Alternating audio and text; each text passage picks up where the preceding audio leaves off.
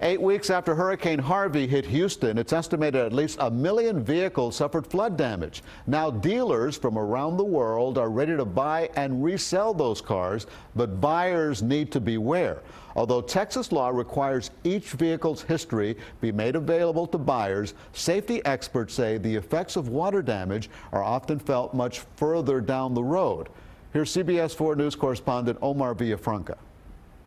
On 500 acres of East Texas land, thousands of neatly placed vehicles fan out across the horizon.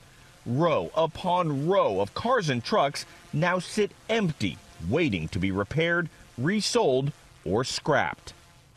Seth Angel is the general manager of the Royal Purple Raceway. Every vehicle here is here for a reason. It was damaged in some way, shape, or form by the storm. It's estimated that up to a million vehicles were damaged by Harvey. Many end up here or at a handful of makeshift scrapyards designed for a similar purpose. Aerial photos of the Texas World Speedway, about 70 miles north of Houston, show tens of thousands of cars lining the track. Eventually, the cars will be sold by insurance companies to salvage yards, dealers, and individual buyers around the world.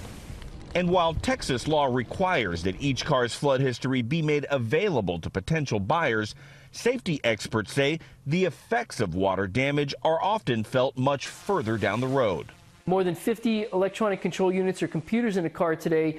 These vehicles are very susceptible to water, and that water is not friendly to these kinds of systems and can cause all kinds of safety hazards. With so many of these cars hitting the market, the DMV suggests that potential new buyers have the car looked at by a mechanic before they make the purchase. Raceway managers also say they expect to have every single one of these vehicles removed by the end of February, just in time for the start of race season in March. Omar Villafranca, CBS News, Baytown, Texas.